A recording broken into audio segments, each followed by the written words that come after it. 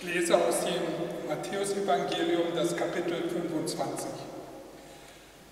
Dann wird das Himmelreich gleichen zehn Jungfrauen, die ihre Lampen nahmen und gingen hinaus dem Bräutigam entgegen. Aber fünf von ihnen waren töricht und fünf waren klug. Die Törichten nahmen ihre Lampen, aber sie nahmen kein Öl mit. Die Klugen aber nahmen Öl mit ihren Gefäßen samt ihren Lampen. Als nun der Bräutigam lange ausblieb, wurden sie alle schläfrig und schliefen ein.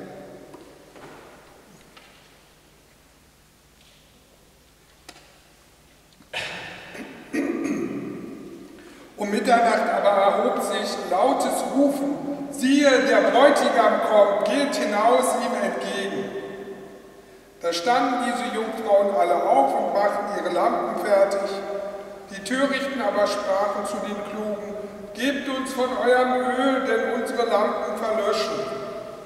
Da antworteten die Klugen und sprachen, Nein, sonst würde es für uns und euch nicht genug sein.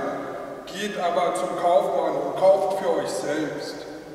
Und als sie hingingen zu kaufen, kam der Bräutigam und die bereit waren, gingen mit ihm hinein zur Hochzeit und die Tür wurde verschlossen. Später kamen auch die anderen Jungfrauen und sprachen, Herr, Herr, tu uns auf.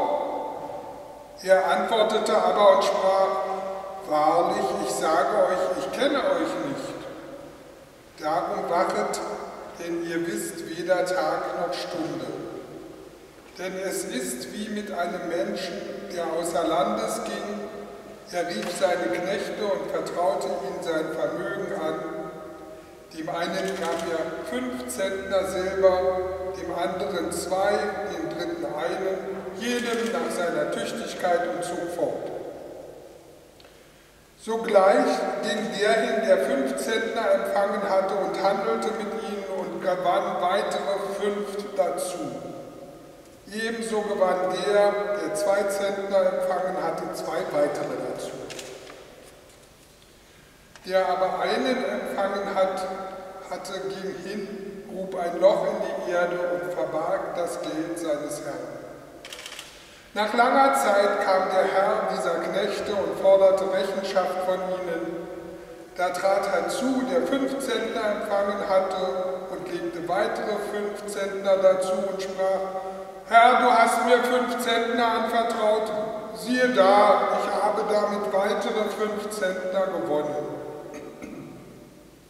Da sprach sein Herr zu ihm, Recht so, du tüchtiger und treuer Knecht, du bist über wenigem treu gewesen, ich will dich über viel setzen, geh hinein zu deines Herrn Freude.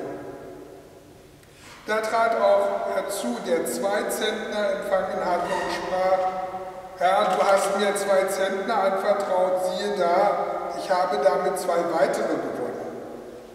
Sein Herr sprach zu ihm, Recht so, du tüchtiger und treuer Knecht, du bist über wenigem treu gewesen, ich will dich über viel setzen, geh hinein zu deines Herrn Freude.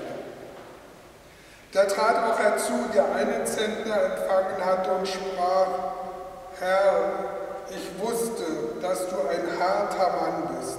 Du erntest, wo du nicht gesät hast, und du sammelst ein, wo du nicht ausgestreut hast. Und ich fürchtete mich, ging hin und verbarg deinen Zentner in der Erde. Siehe, da hast du das Deine.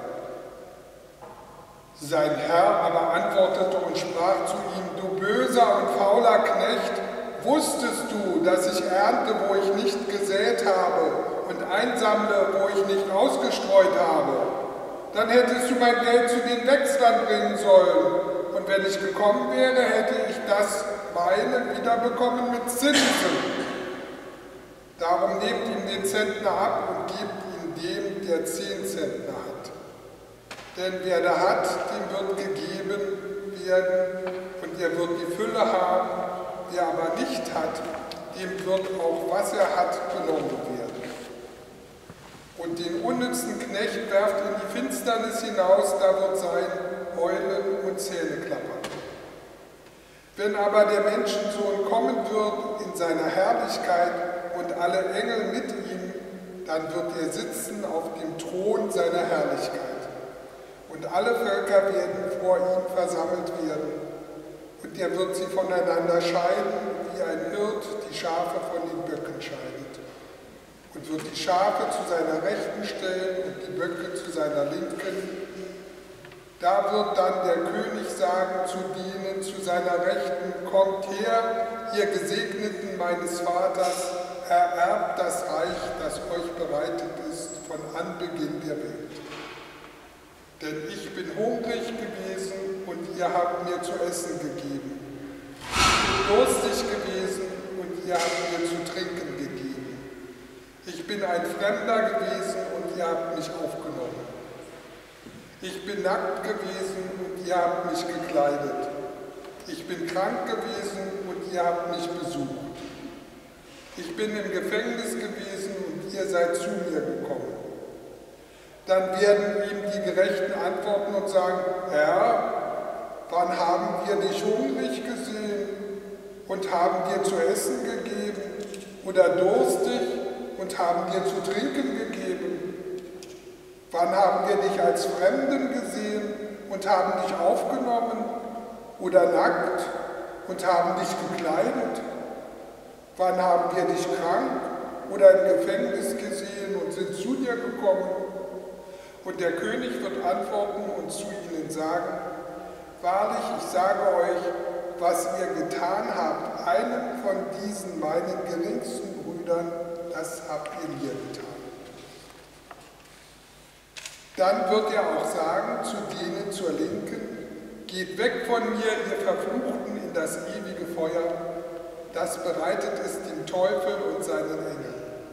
Denn ich bin hungrig gewesen und ihr habt mir nicht zu essen gegeben. Ich bin durstig gewesen und ihr habt mir nicht zu trinken gegeben. Ich bin ein Fremder gewesen und ihr habt mich nicht aufgenommen. Ich bin nackt gewesen und ihr habt mich nicht gekleidet. Ich bin krank und im Gefängnis gewesen und ihr habt mich nicht besucht.